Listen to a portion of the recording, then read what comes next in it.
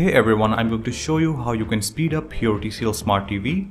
So if your TCL Smart TV has been lagging a lot and it's not very fast working and it's very slow, or if you open the apps and they stuck and they are taking a lot of time to open, or your Wi-Fi is uh, very slow, or your YouTube is buffering a lot, what you can simply do to fix all of these issues is to clear the cache and clear the background apps on your TCL Smart TV.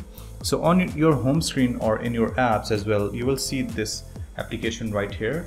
So this is where you can fix all the problems. You can simply click on the TV Guard application. It is pre-installed in every TCL Android TV. You can click on TV Guard. So from here you can simply click on System Optimize and this is going to optimize all of your system and close all of the background apps that are running.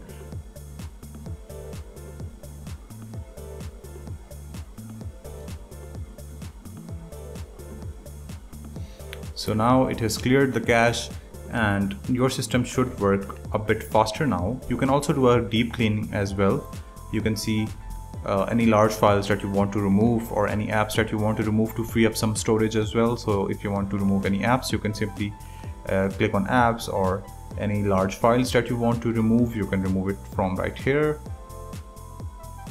As you can see there are three large files that are showing up. I can simply clear them all by clear all.